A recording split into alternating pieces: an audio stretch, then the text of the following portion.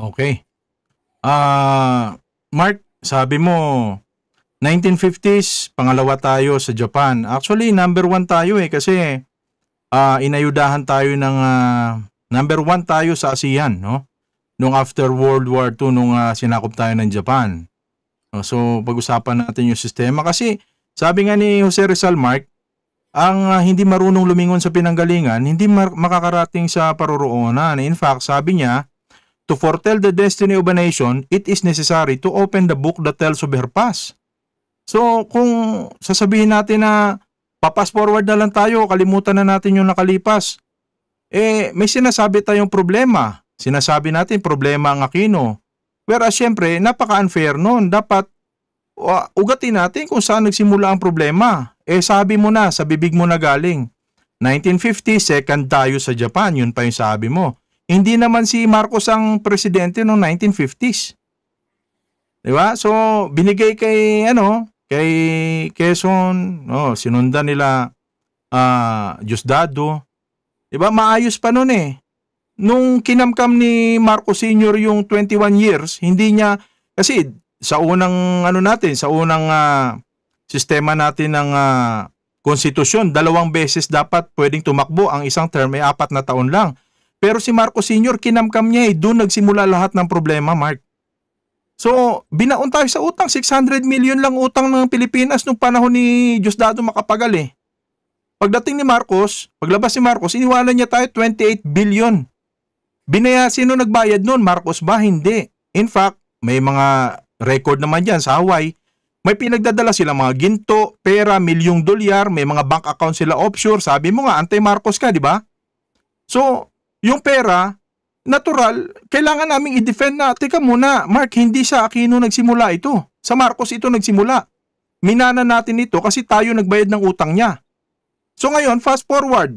Sabi mo nga, dati nag-ano pa kayo nila Jim Paredes, tsaka ni, ano, galit kayo kay Gloria na sa mga kurap. Pero tingnan mo, lugmok tayo kay Gloria, kaya nanalo si Noynoy Aquino dahil nilugmok tayo ni Gloria. Binenta tayo dun sa NBNCTE deal siya yung pumirma nung ah, joint exploration ng Vietnam at saka ng China. Kaya yung China, nung nalaman nilang marami palang langis dyan sa West Philippine Sea, ayaw nang umalis.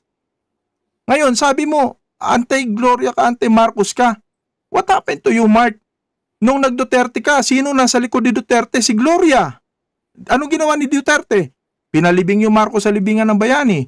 Sino nasa paligid ni Duterte? Mga Marcos. So, yun yung pupuntuhin natin eh. Ang sabi ni Duterte, 3 to 6 months lang. Matatapos lahat ng problema ng bansa. Mark, sinelstock mo ako eh. Kung ikaw kung kung ah, ikaw ang ahente sa mall, sinelstock mo ako. Sabi mo sa akin, 3 to 6 months lang sir. Ubus lahat ng problema mo sa bahay. 'Di ba? Tapos ngayon, after after 3 to 6 months hindi mo nagawa, sabi mo 3 to 6 years pala, natapos mo na't lahat yung termino mo. Ha?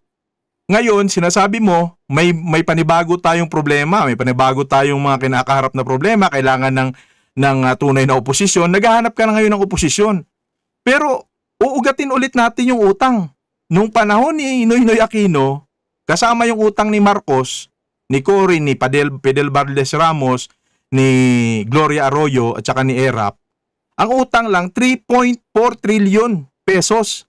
2016, pagpasok na pagpasok ni Duterte, pinasalubungan niya agad tayo. Dinoble niya 6.7 trillion. Ginawa niyang 6.7 trillion ang utang ng Pilipinas. Pag alis niya, iniwanan niya si Marcos Jr. ng 13 plus trillion. Di ba? So sabi mo nga, kulang pa yung 6 years ni Duterte. Oh my God, Mark. Di ba? Kulang pa ba yon na yung kanyang Intel Fund 4.5 billion taon-taon? Nung si Noynoy Aquino humingi ng 600 million na Intel Fund, nagalit yung mga kritiko nun. Nagalit yung mga hanay nyo nun, Mark, Noynoy kasi bakit sobrang laki? Eh si Duterte, pagpasok niya, 2.5 billion kagad yung Intel Fund niya. Pag sinabing Intel Fund, hindi pwedeng i-liquidate yun. Hindi pwedeng tanongin ng taong bayan paano mo to ginastos. Kasi nga, Intel Fund eh. Confidential fund yun. Di ba?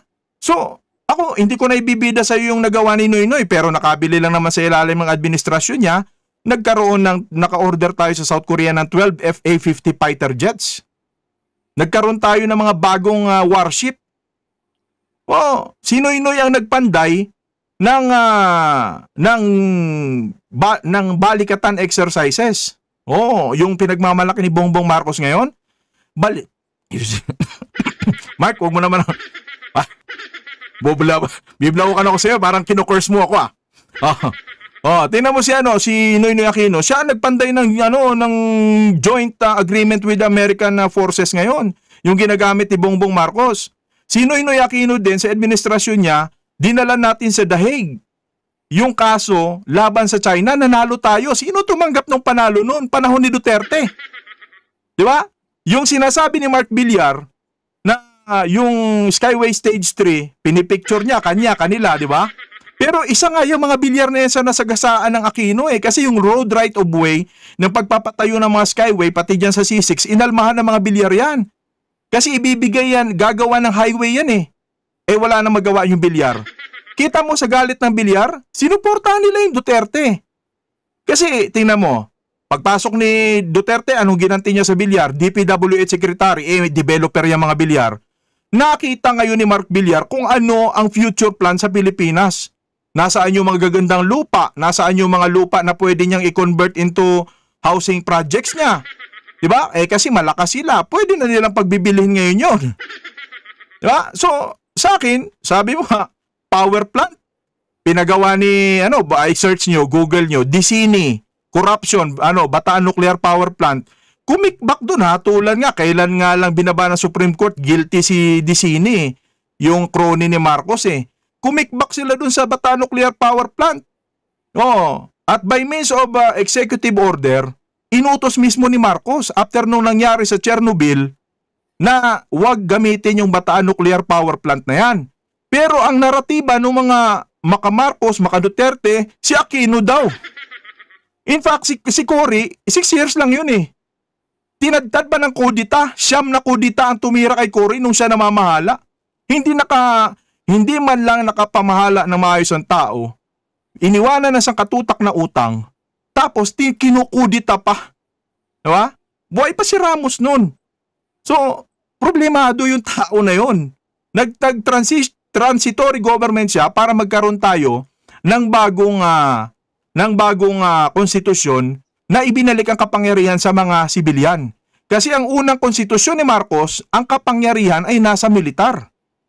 So, Binalik ng ano, ayaw pa ba natin yon? Ayan na ngayon yung ginagamit natin. May kalayaan tayong magpahayag kahit nga murahin mo si Chris Aquino, si Noy Noy, di ba? Kahit nilalait nyo si Lenny Robredo, hindi kayo mademanda kasi nga kalayaan nga yan eh. Di ba? So, bottom line, hindi naman kayang matuloy ni Cory na mapagandak agad ang buhay nyo kasi 6 years kinodita ako eh. After noon, bumaba siya sa pwesto. Sino ba si Fidel Valdez Ramos? Second kasi naman niya ni, Pede, ni Ferdinand Marcos Sr. Magpinsan yan. Oo. So ano nangyari? Lahat ba isisisi natin kay Cory kasi walang nangyari? Ang mali sa sistema, Mark, yung botante hindi marunong bumoto. Hindi, kayo na nga yung sinasabi ni Rizal. Aanhin pa ang kalayaan kung ang mga mapang-alip, mga alipin ngayon ay siyang magiging mapang-api pagdating ng bukas. Di ba?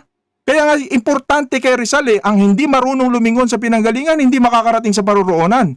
To foretell the destiny of a nation, it is necessary to open the book that tells of their past. Balikan natin, saan ba nag-uugat yung problema? Kasi ang sistema sa paniniwala nagmumula, sa ideolohiya. Kung bakit nagkaroon ng NPA, sa ideolohiya, sa paniniwala. Kaya nga, sabi ni Cory, sabi niya, wag na kayong mag-armas, bumaba kayo dito, mag-congressman din kayo. Kasi kailangan natin saksakan ng, ng laman ng isip ng tao ng tamang proseso ng demokrasya. Hindi yung demokrasya para makapanggancho. Magtatago sa likod ng demokrasya ang mga politiko para ano? Para makapanloko ng tao, para makapangurakot. Tingnan mo, Maharlika Investment Fund. Ngayon, na iya naman daw ang ipaprivatize nila. Ibibenta? Bakit ibibenta na iya? Ay kumikita na yan. Di ba? So, yun yung mga bottom line na bininta kay Cory yung pagbebenta, anong nagawa, di ba? Pero ito, Mark, Kabaliktaran lahat. Ang tawag dyan, reverse psychology. Divide and conquer. Divide the Filipino people, then conquer later. And then, reverse mo lang ng reverse. O, ikaw na, Mark.